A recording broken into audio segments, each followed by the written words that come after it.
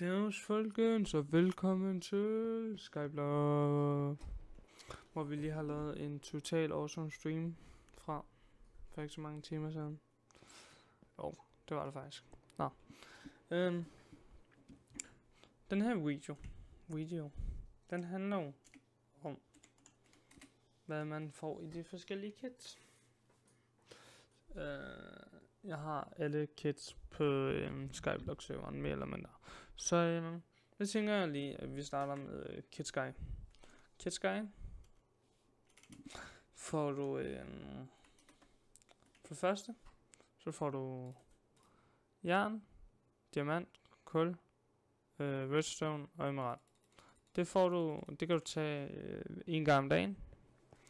Plus du får øh, fly, altså øh, lov til at skrive, bruge fly-kommanden, som vi har brugt meget ind på streamen. Plus at du får lov til at ændre nogle øh, chunks ved din ø og sådan noget lignende. Så ja, og så får du lov til lidt andet, men det kan man selv gå rundt og lege lidt med, hvis det er det på et tidspunkt. Så Kid OP, der får du faktisk øh, alt diamond gear, undtagen Ho, men og dem har jeg så mange af, og 10 øh, bottles, og så får du faktisk 6 diamanter.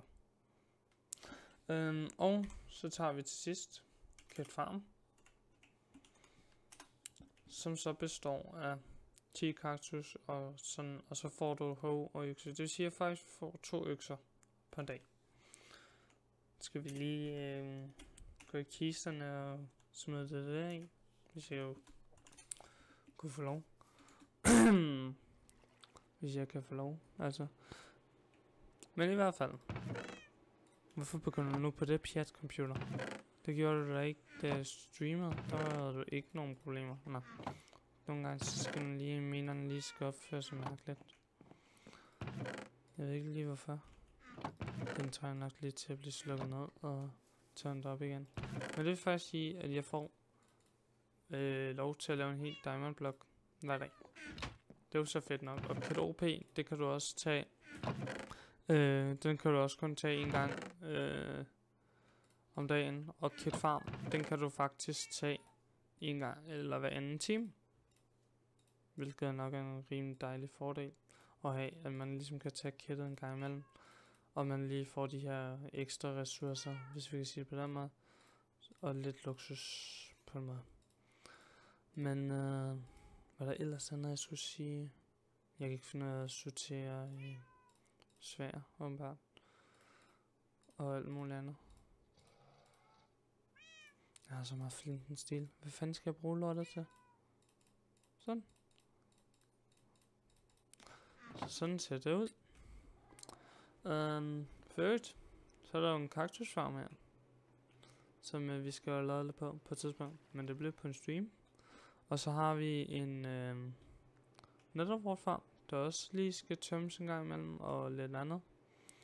Men ellers folkens. Øh, en lille kort video om, hvad får du egentlig i Danish Gamers øh, Skyblock, Skyblock Kits. Jeg kan lige lave to diamond, eller tre diamond blocks. Og så lige sætte dem til jer. Bum. Så skete der lidt i den her episode. Sådan. Nu skal vi sætte den sidste? Vi sætter den her. Sådan der. Og vi tager den lige på os. Det er det, jeg er meget bekymret for.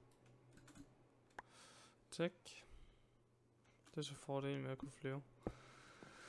Det er så man næsten 99% sikker på, at man får sine ting, når man... Øh, jeg laver dem altid om til pickaxe, fordi jeg synes, jeg altid ender med en charm pickaxe. Jeg ved ikke hvorfor. Nå. Nå, jeg godt nok ikke en charm pickaxe det sidste lange stykke tid, men alligevel. Det var dejligt nok lige at have nogen på lager. Øhm, skal vi også lige kigge lidt på vores dyr?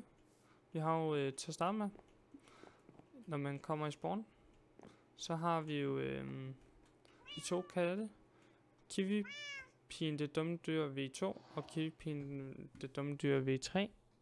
Så vi står den her. Så har vi vores øh, skelethest. Øh, wow. Så har vi øh, en mobspawner. Jeg ved ikke, hvor spændende den er. Sådan. Så har vi øh, køer, grise, får. Og så har vi kyllinger. Vi skal egentlig se. Okay, det er lavet rimelig mange æg. Det er jo fedt nok. Øhm, hvad er vi ellers? Hmm. Jo, så er vi en mobspawner. Så er vi to, de her to mobspawner, der er slukket lige nu. Jeg skal lige se, hvad fik vi øh, ud af at sætte de der blocks der. Vi er snart level 800. Fuck, hvor fedt. Når vi, vores ø kommer, øh, nej ikke 800, øh, vi kan lige tage til spawn. Nu ved jeg godt, det jeg sagde det, det ville blive en kort video. Det bliver så ikke alligevel.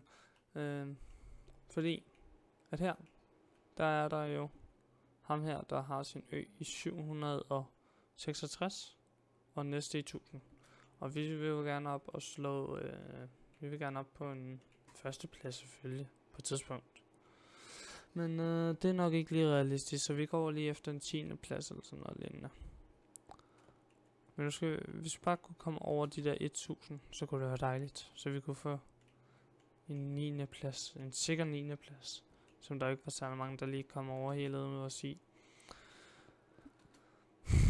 Det gør vi for eksempel ved at købe øh, redstone guld eller sådan noget lignende, og så sætte på vores ø, men det er ikke rigtigt noget, jeg går op i at bruge tid på og penge på. Så øh, hvis jeg bygger bare, så hvis nogle af tingene bliver lavet af det, så bliver jeg lavet det. Hvorfor bruger den så meget CPU-kraft? What? Nå, jeg skruer lige, jeg skal nulstille den, eller ikke nulstille, slukke den her computer ned og tænde den op igen, så lige kigge lidt på den. Okay, det er da helt vildt. Nå, øh, så imens jeg gør det, venner, så øh, håber jeg, at vi vil like, subscribe og øh, alt det der andet. Og så håber jeg, at I nød verdens mest awesome stream på, i mandags, altså i går. Så øh, vi ses. See you soon. Øh, hvad siger vi ellers? Øh, bonjour, mademoiselle.